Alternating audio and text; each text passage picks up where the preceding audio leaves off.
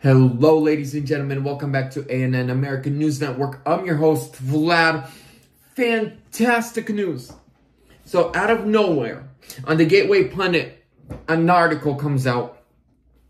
Breaking report. Arizona State Legislature is holding their own investigation of the 2020 choosings. So, they in the last two and they started doing this secretly and now they're coming out with the info. So far in the last week they went through 104,000 104,820 balloons. And this is the problems that they found just in that small number.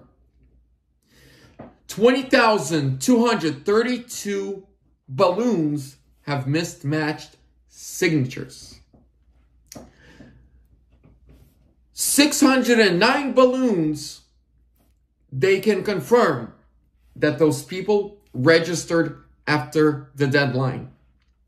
17 are confirmed deceased, meaning before the choosing in 2020, they were out of here, but somehow they let a balloon fly in.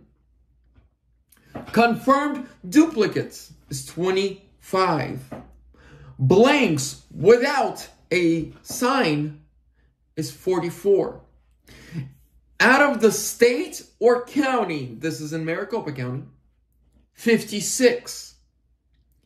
And in that state, felons are not allowed to cast a choice. 170 felons. I thought Arizona was done, lost hope. But the state Senate and the state legislature decided, you know what? To keep the media away, to keep the harassment away, we're going to do it secretly. And within the first batch that they did of 104,820 balloons, they found just a just a mismatched signatures is over 20,000.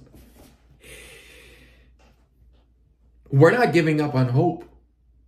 Um, I don't know about you, but I ain't giving up. And I'm going to finish this right here.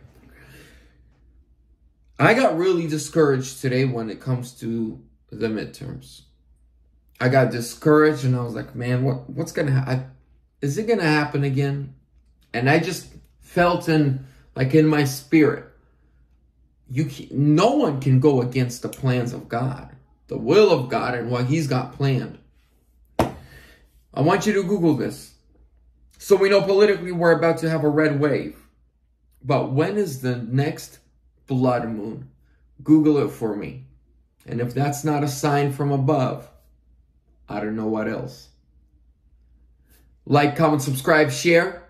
Thank you guys so much. There's a link in the description for the full story. See you in the next one.